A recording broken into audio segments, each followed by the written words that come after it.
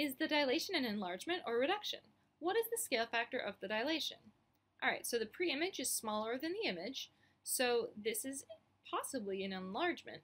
However, the scale factor between these two sides is 2, because 10 over 5 equals 2. However, the scale factor here is 3. 33 over 11 equals 3.